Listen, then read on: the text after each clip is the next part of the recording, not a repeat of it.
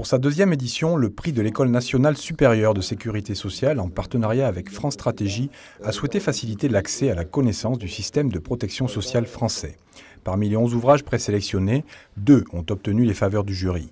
Dans la catégorie pédagogie, le livre de Dominique Polton fait le lien entre les grands concepts de la politique de santé et la réalité des assurés, notamment les plus démunis.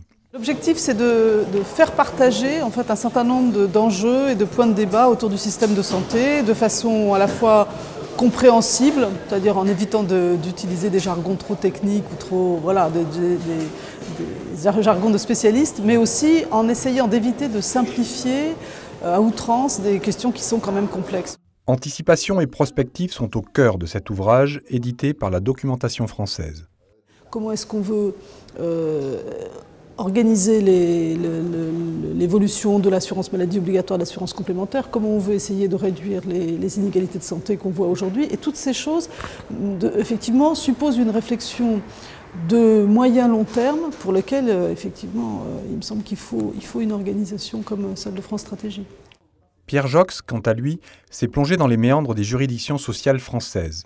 L'ancien ministre et ancien président de la Cour des comptes s'est particulièrement attaché à révéler la pauvreté de la majorité des justiciables. En s'appuyant sur des choses vues dans sa récente carrière d'avocat, Pierre Jox plaide pour une justice sociale et des juridictions plus simples et plus rapides. C'est une justice peu connue qui rend, rendez-vous compte, 500 000 décisions par an, c'est-à-dire autant que tous les tribunaux pénaux, par exemple. Or, ce sont des décisions qui concernent le niveau de vie ou les conditions de vie ou les conditions de travail de gens généralement parmi les plus pauvres, souvent des handicapés ou des gens qui sont dans une situation familiale ou sociale très difficile.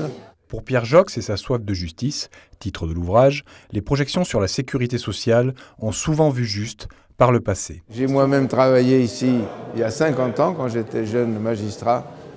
C'était le commissariat général du plan on faisait des projections dans l'avenir sur les moyens et les besoins de la sécurité sociale. On ne s'est pas trompé.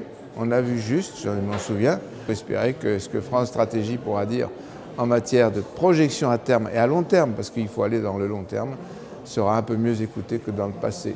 En accueillant cette cérémonie, France Stratégie a clairement renforcé un partenariat étroit avec le N3S sur la prospective et les réflexions communes au cœur du champ de la protection sociale.